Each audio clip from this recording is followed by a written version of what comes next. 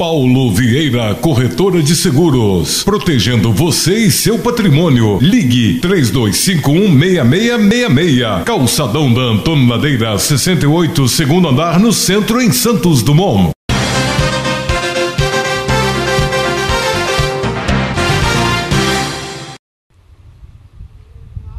Estamos no nosso Hospital de Misericórdia de Santos Dumont.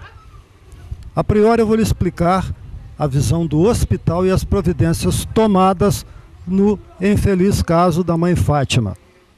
Uma comissão de ética está analisando, fazendo uma sindicância interna que será remetida ao Conselho Estadual de Medicina para dar o parecer final.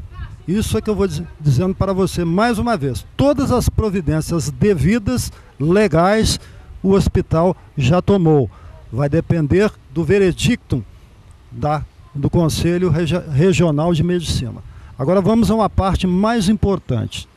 Estamos sabendo em off que haverá uma reunião com a imprensa para determinar um assunto muito importante.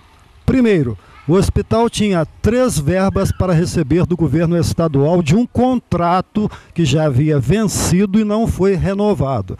Mesmo assim, mandaram, após o infeliz incidente que resultou no óbito da mãe Fátima, mandaram duas parcelas.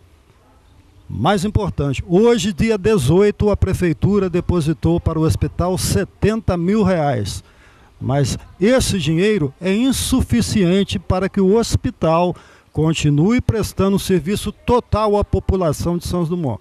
Motivo que, de uma forma subliminar, nos foi passado que provavelmente haverá uma redução ou até extinção em certos atendimentos na área do hospital. Todavia, após essa reunião total com a imprensa de São Dumont, será declarado de uma forma direta e objetiva para você como vai funcionar o hospital daqui para frente.